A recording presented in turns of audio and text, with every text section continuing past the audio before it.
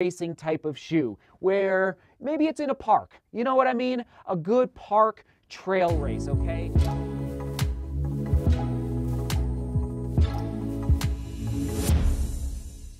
Here we go, second video publishing today. First impressions of the Skechers Go Run Speed TRL Hyper.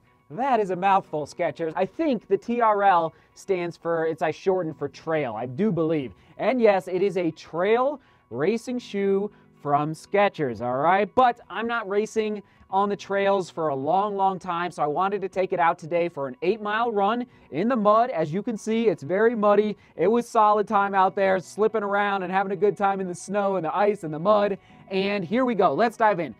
26 millimeter stack height in the heel, 22 in the forefoot, so a 4 millimeter drop, pretty low, I would say, for a racing shoe. And it, uh, it definitely has a minimalist feel, really. Um, it, yeah, it's not, that midsole is pretty lean overall. And I guess I'll say right now that if you're racing on a rocky trail, this is probably not the shoe for you. I was feeling the rocks through the uh, through the midsole and the outsole today out there at Deer Creek. The weight though, here we go, 8.2 ounces in men's size 9. Uh, so that's it's a lightweight shoe for sure, especially out there on the trails. And I almost forgot to mention that this is not my full review. This is just my first impression after the first run. Okay, so moving on to the upper, very comfortable upper. Now it's not you know waterproof at all. Like my foot was pretty soaked today out there, but very comfortable, very simple uh, laid on top of the foot very nicely. Now it's unique though, very unique, something I've never seen before in the upper of really any shoe. So basically on the tongue, this side of the tongue is one piece of material, but this side of the tongue, the outside of the shoe, is open. So it's like a half gusseted tongue, so only half of the tongue is connected to the shoe. It's very interesting. I have to mess around with the lacing a little bit more through the eyelet chain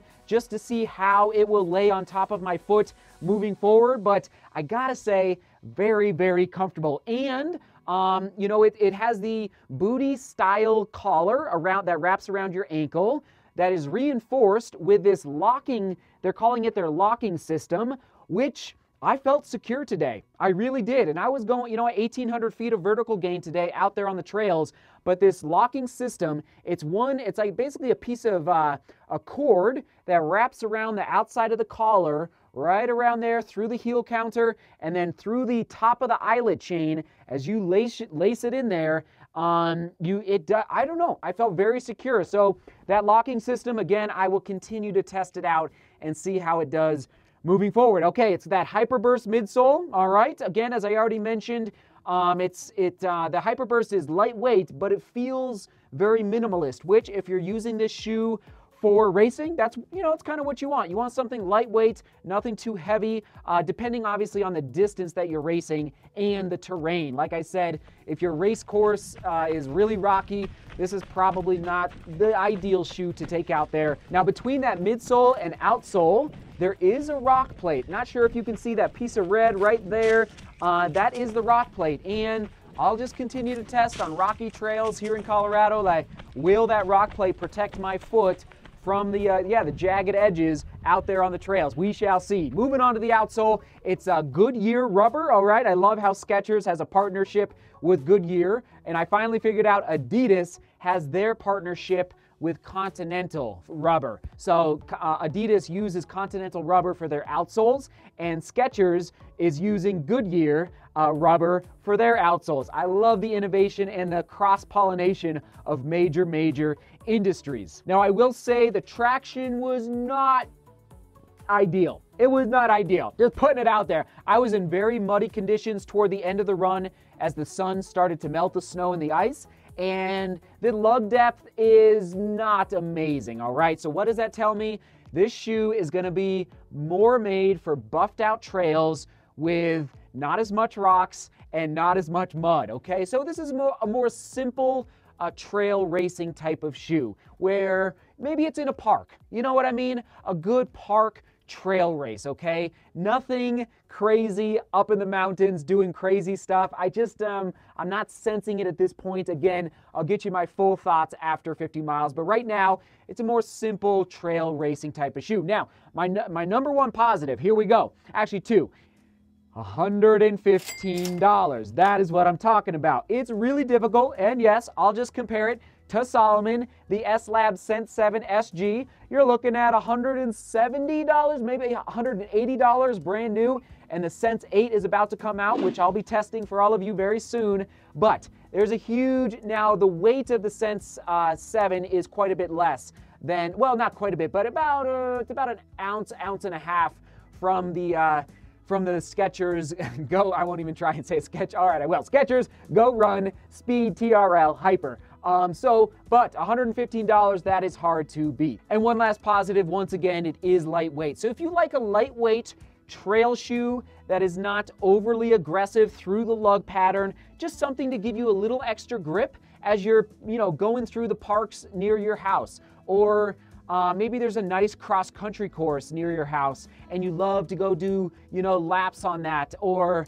um, anyway, just nothing overly uh, aggressive with respect to rocks or mud. And how will I use the Skechers Go Run Speed TRL Hyper?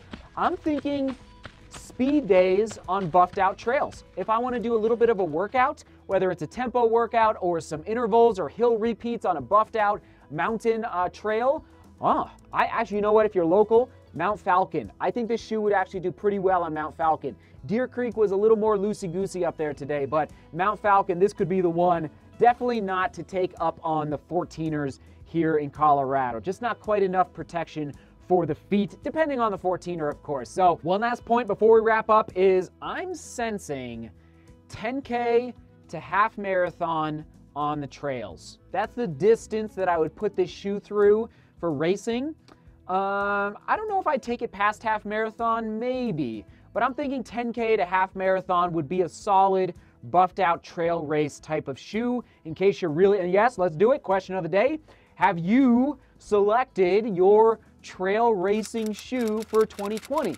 Probably not. It's very early, but maybe you have some ideas that you want to ask about down below in the comments. Definitely let us know. So, because yes, as I'm getting a little excited for the uh, summer months when we can go run the trails a little bit more. And uh, anyway, so that's the question of the day. Thanks for hitting it up down below. There you go. First impressions, not my full review. Just want to make that clear. First impressions of the Skechers Go Run Speed TRL Hyper. All right, everyone, there you go. We're to toss it back on the right to some other Skechers. Uh, actually, sorry, the Skechers Max Road 4 first impression run. That'll be on the right, Skechers Max Road 4. And then also we'll toss it back on the left to trail racing shoes of 2019. Trail racing shoes of 2019. All right, everyone, thanks for being here. Thanks for watching. Seek beauty, work hard, and love each other. See you tomorrow.